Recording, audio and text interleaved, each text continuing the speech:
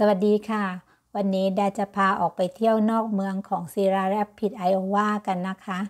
ซึ่งขับรถออกไป วันนี้เป็นวันหยุดเลยมีโอกาสที่จะเก็บบรรยากาศสวยๆ ของสองข้างทาง มาให้ดูกันนะคะ ตอนนี้ถ้าสังเกตก็จะเริ่มเห็นว่า หญ้าก็เริ่มเขียวหิมะเนี่ยละลายไปหมดแล้ว ตอนนี้ก็เริ่มเข้าหน้าร้อนแล้วนะคะ แต่สองข้างทางเนี่ยใบไม้ก็เขียว ข้างทางที่เห็นว่าดำๆนั้นคือ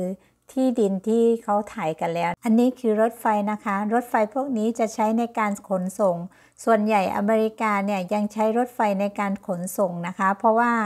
รถไฟเนี่ยมีค่าใช้จ่ายที่ถูก ในซิตาเรพิดเนี่ยดาจะได้เห็นรถไฟทุกๆวัน เพราะเมืองนี้มีสินค้าการเกษตรเยอะที่ใช้ในการขนส่ง เช่นพวกซีเรียลข้าวโพดอะไรประมาณนี้ค่ะ รวมถึงขนมของขบเคี้ยวที่ทำที่แปรรูปมาจากข้าวโพด อันนี้เป็นบริษัทจอร์เดียที่อยู่ข้างทางก็จะขายพวกอุปกรณ์ทำการเกษตร พวกเครื่องจักรใหญ่ๆ และจะเห็นว่าสองข้างทางตอนนี้ก็จะมีการเริ่มไถเริ่มอะไร เพื่อจะเตรียมในการเพาะปลูกกันแล้วนะคะ